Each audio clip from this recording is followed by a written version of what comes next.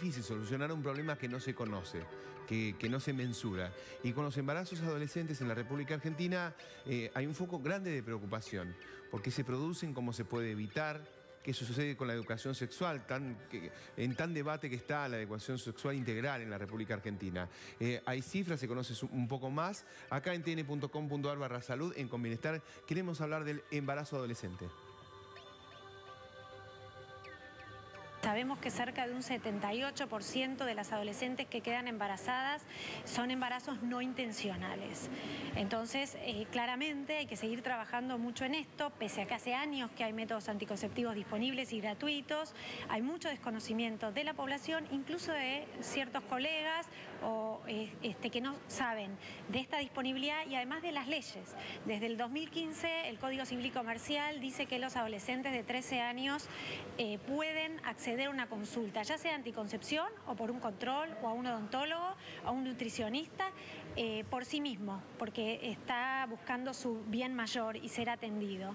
Entonces puede hacerlo. Lo único que no puede en entre 13 y 16 años es eh, técnicas invasivas que pueden poner en riesgo la vida. Y a partir de los 16 años pueden decidirlo como si fueran un adulto.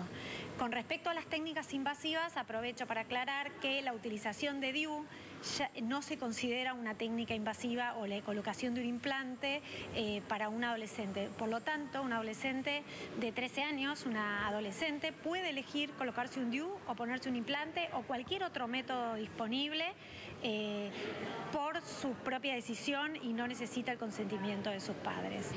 En cuanto a los anticonceptivos de emergencia. La anticoncepción de emergencia eh, se puede utilizar sin ningún inconveniente cuando hay un accidente con el uso del preservativo, sobre todo en aquellos adolescentes que optan porque quieren, no quieren introducirse sustancias, ni quieren ponerse un método o no quieren tomar hormonas, entonces eh, se le sugiere el uso de la pastilla de anticoncepción de emergencia si llegase a haber un accidente con el preservativo.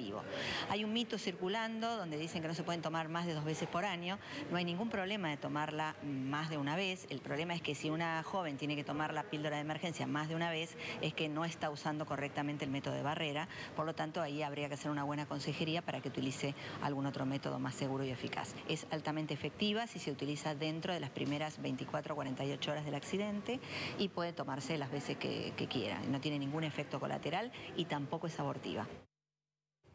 ¿Qué número? El 78% de los embarazos adolescentes no son intencionales, ¿eh? 8 de cada 10. Y tenemos acá un título de conbienestar.com.ar, dice gemelas modificadas genéticamente eh, trajeron preocupación éticas en los, en los científicos. Es un artículo bien extenso de tn.com.ar barra salud, te invitamos a visitarlo.